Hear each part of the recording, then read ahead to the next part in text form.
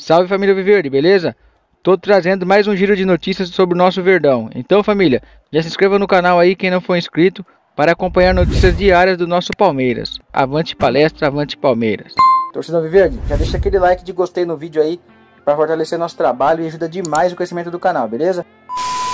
Torcida, conforme eu trouxe informação sobre o Gabriel Menino no vídeo anterior, ele sim está afastado por tempo indeterminado no Palmeiras após ele ter feito reuniões internas com a diretoria.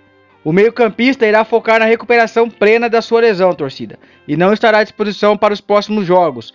Ele vinha sofrendo com muitas dores desde a sua última temporada, e assim ele irá cumprir um cronograma especial após ter constatado uma lesão no tornozelo direito. Ainda sem conseguir se recuperar 100%, o Gabriel Menino chegou a necessitar tomar remédios para suportar suas dores, com direito até a pequenas fraturas, e somente assim, com dores e com remédios, ele conseguiu jogar a reta final da temporada 2020 e ajudando o Palmeiras na conquista do título da Copa do Brasil e da Libertadores. E devido ao problema no tornozelo direito, o Gabriel Menino deixou inclusive de cobrar algumas bolas paradas. Agora ele não jogará mais em meio à sua recuperação e seguirá em tratamento médico por tempo indeterminado, torcida. E o departamento do Palmeiras, torcida, tá o seguinte: entra um e sai outro. O Gabriel Menino agora entrou no departamento médico para tratar sua lesão. E quem tá saindo do departamento médico e já tá voltando a ficar à disposição do Abel Ferreira é o meia Lucas Lima. Inclusive, ele pode ser novidade na escalação do Abel Ferreira. Lucas Lima não entra em campo desde o dia 14 de março com a camisa do Palmeiras, torcida. O Palmeiras abriu na sexta-feira a preparação para a última rodada da fase de grupos do Campeonato Paulista. O Verdão encara a Ponte Preta em Campinas. A partida será no domingo. E o Verdão tem chance de avançar às quartas de finais do Paulistão, rapaziada. E fora da equipe desde o dia 14 de março, quando o Palmeiras venceu o Ferroviário no Allianz Parque, Lucas Lima participou da atividade sem qualquer restrição e, portanto, está recuperado da sua lesão muscular na coxa direita e está novamente à disposição da comissão técnica aí, torcida. E mesmo precisando de uma vitória e de um tropeço do Novo Horizontino que enfrenta o Corinthians, o Verdão vai manter o planejamento pensando na Copa Libertadores. Os titulares não serão aproveitados em Campinas, priorizando a partida da próxima terça-feira contra o Independente Del Valle no Equador. O Palmeiras está na terceira posição do grupo C do Paulistão, com 18 pontos, um ponto atrás do Novo Horizontino. O Red Bull Bragantino já é líder com 22 pontos e já está classificado. O Palmeiras precisa de uma combinação de resultados para se classificar. O Palmeiras precisa vencer o jogo em Campinas e torcer para o Novo Horizontino não ganhar do Corinthians. Aí o Palmeiras está classificado para as quartas de finais do Paulistão. Agora vamos falar sobre o Edson Cavani. Alguns torcedores do Palmeiras seguem falando do jogador que sonham vestir a camisa do Verdão. Porém, a informação que temos do jogador é a seguinte, rapaziada. O Cavani foi ligado recentemente ao Boca Juniors nas últimas semanas. E o atacante Edson Cavani acabou frustrando os planos do clube argentino e de qualquer clube interessado pelo jogador.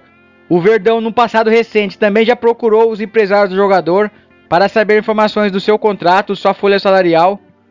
Informações que chegou é que o craque seguirá em gramados europeus e já inclusive teria uma renovação de contrato em mão para assinar com o Manchester United até junho de 2022. Então, rapaziada, para quem sonhava com Cavani no Palmeiras, de estar tá negociando com ele na metade do ano que ele ficará livre no mercado, Manchester United ofereceu a renovação de contrato para o Cavani aí, torcida. Então, o Cavani não vai vir nem para o Boca Juniors, nem para o Palmeiras, nem para o Grêmio, nenhum time que estava interessado no jogador. O Cavani seguirá na Europa por mais uma temporada, beleza? E um jogador que poderia entrar como camisa 9 no Palmeiras, torcida, está sem clube, inclusive já demonstrou vontade de jogar pelo Palmeiras é o Diego Costa.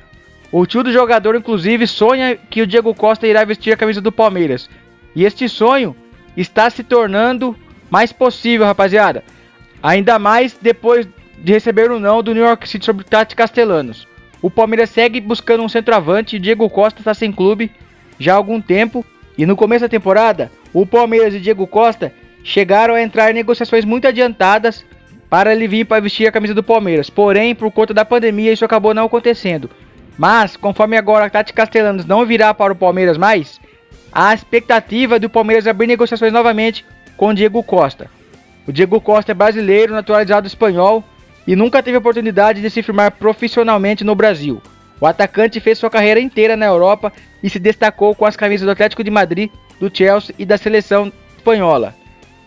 Ele está sem clube desde dezembro, quando rompeu seu contrato com o Atlético de Madrid. O jogador está livre para acertar com qualquer equipe aí, torcida. Aí vai minha pergunta para vocês aí, torcida. Vocês acham que o Diego Costa iria jogar bem no Palmeiras? Iria ser um grande camisa 9 no Palmeiras, torcida? Deixe sua opinião aqui embaixo nos comentários. Tamo junto. E ainda sem resposta do Qatar, o Palmeiras terá uma semana muito decisiva para definir de vez o retorno do Dudu ao Palmeiras. O Aldo Raio do Qatar segue sem fazer qualquer contato com a diretoria do Palmeiras e tem apenas mais uma semana para se comunicar se irá comprar o atacante Dudu ou então encerrar seu contrato de empréstimo, torcida. Apesar de falta de comunicação do Aldo com o Palmeiras, o clube do Qatar pode inclusive exercer a causa no contrato apenas no último dia, torcida. Mas a decisão de ficar em silêncio até agora gerou na diretoria do Palmeiras a expectativa cada vez maior de um possível retorno do Dudu.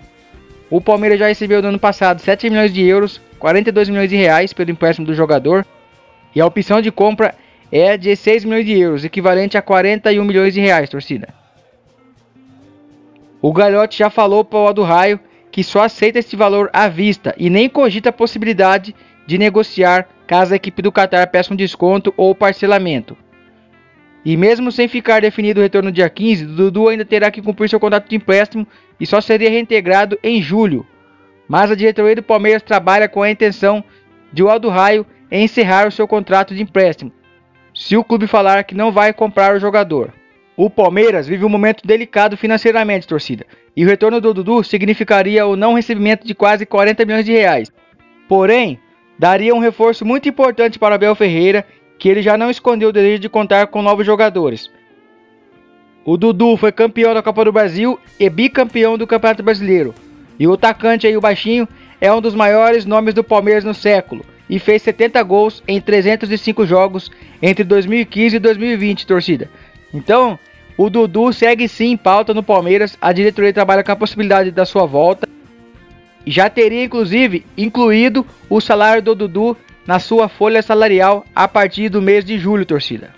E você que chegou até o final desse vídeo, eu te convido a se inscrever no canal, deixar seu like e não perder nenhum giro de notícias do nosso Verdão, beleza? Tamo junto, um grande abraço. Família Viverde, esse foi o giro de notícias de hoje. Quero agradecer aí a todos os inscritos que nos acompanham, comentam, deixem seu like em todos os nossos vídeos. É um prazer trazer notícias do maior do Brasil para vocês. Avante palestra, avante Palmeiras.